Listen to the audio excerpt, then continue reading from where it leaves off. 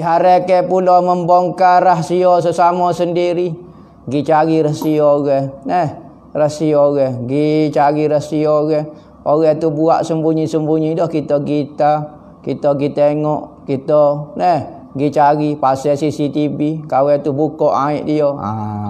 Ni perbuatan ni jahat jahat cari aib orang. Ingat cari aib orang ni katanya Nabi siapa dia yang suka mencari aib orang seorang muslim siapa-siapa dia Allah Taala akan cari aib dia sehingga ke Tuhan malu ke dia sendiri dalam rumah dia sendiri. Oh, kita rasa dalam rumah kita selamat dah. Dan Tuhan nak malu Tuhan. Siapa dia yang tutup aib orang, benda-benda yang lemah orang, kelemahan orang nah. Benda-benda yang memalukan seseorang itu rahsia-rahsia dia, maka katanya Allah Taala Allah Ta'ala akan tutup aib dia di hari kiamat. Tutup benda-benda yang kita malu pada hari kiamat. Hak ni kita nak minta dengan Allah Ta'ala kita ni banyak aib. Banyak kelemahan. Kita Tuhan tutup, orang tak tahu. Hak ni kita minta. Nah, lagu mana cara nak supaya Allah Ta'ala tutup aib kita hari kiamat? Kita jangan buka. Kalau kita tahu pun kita jangan royak aib-aib orang. Nah, ha. Boleh hukum dia dan diharapkan memaki hamu supah serana berdosa hukum dia eh maki hamu ni tubik pak mulut dah bukan hati dah ni jahat ni. Eh ha dak sopah dan mengumpak dan sebagainya. Mengumpak ni menyebut sesuatu yang tidak disukai oleh saudara kita. Biasa kita sebut ni benda aib dia lah. Kalau benda molek sekali pun dia tak suka dipanggil ngopak. Kita dak kata dia ni baik.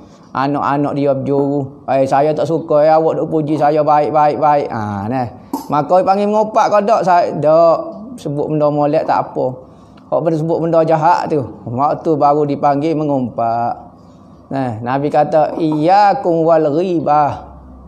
Iyyakum wal ghibah. Nah berhati-hati kamu dengan uh,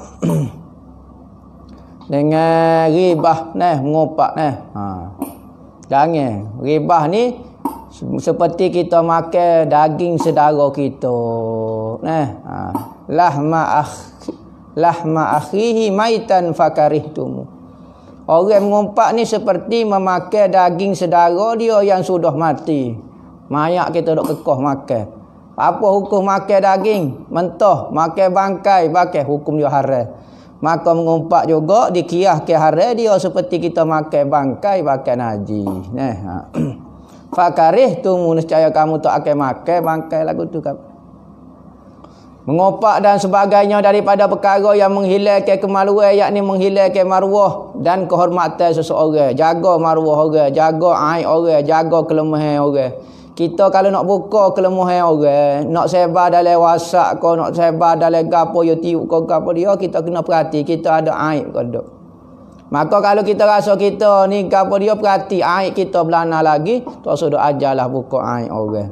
Kecuali Imam Ghazali sebut di dalam kitab Ihya ada beberapa sebab kita boleh beritahu aib orang ada berapa sebab, ada ne sebab deh.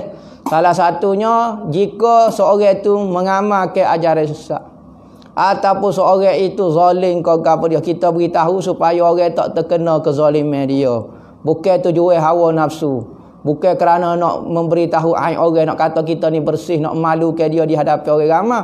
Tetapi tujuan supaya orang tidak tertipu dengan kesesatan dia. Maka kita boleh beritahu. Apa tujuan bukan Uh, bukan nak buka aib dia tetapi nak memberitahu kepada masyarakat supaya masyarakat tidak tertipu dengan kesesatan dia nah